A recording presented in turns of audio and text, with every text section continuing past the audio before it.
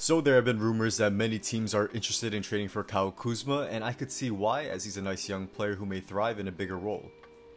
The Lakers should consider trades as I don't think Kuzma is the best fit in LA and if they can get an upgrade, they should definitely do it. So let's go over 3 trade destinations for Kyle Kuzma. And very quickly before we get into it, if you want to see more interesting NBA content just like this, be sure to drop like and subscribe, as I really appreciate our guys' support. So first up, I have Kyle Kuzma, Danny Green, and a future first round pick to the Indiana Pacers for Victor Oladipo. I really like this trade as the Lakers can potentially get that third star next to LeBron and Davis for pretty cheap. Obviously Oladipo wasn't himself last year after returning from his injury, but he'll look to bounce back after getting another year to rebuild himself.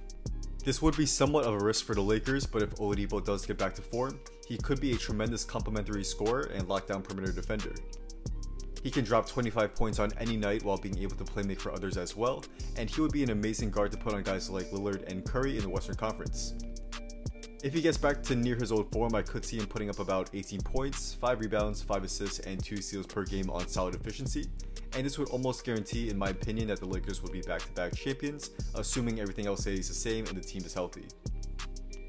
The Pacers would do this trade to get rid of a disgruntled star and also get some nice pieces as well.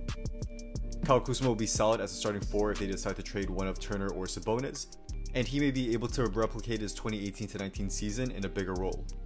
They would also be getting a future first round pick, and Green is a solid perimeter defender, and he can help make up for some of the loss in Oladipo's absence.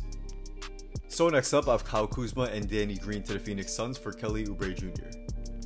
This is probably my favorite trade on this list, as I think Oubre will be an awesome fit with LA.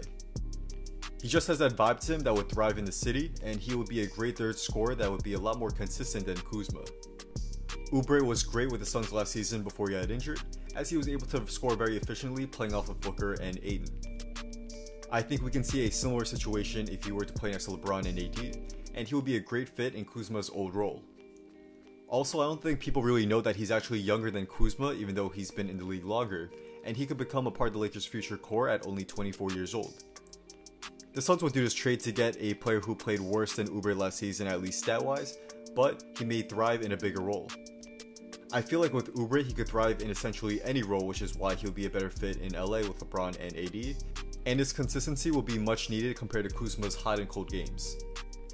Also, the Suns will be getting another asset in a defensive wing and shooter in Green, and this could help solidify their rotation. Now for the final trade on this list, I have Kyle Kuzma and JaVale McGee to the Detroit Pistons for Derrick Rose and a second round pick.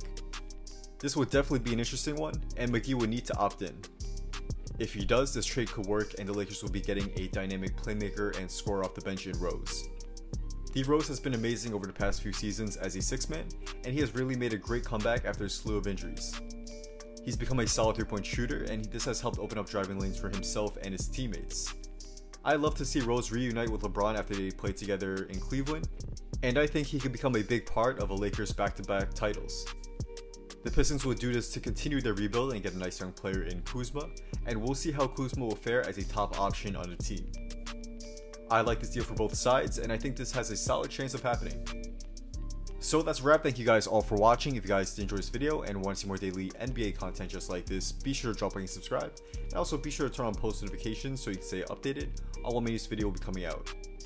Also, be sure to follow me on Instagram and hit me if you want to talk about basketball or business. Just drop a comment down below on my photo or DM me and I'll definitely try get back to most of you guys there. Drop a comment down below on which trade you want to see for Kyle Kuzma. And with all that being said, once again, thank you guys all for watching. Hopefully, I will see you soon for next video. Peace.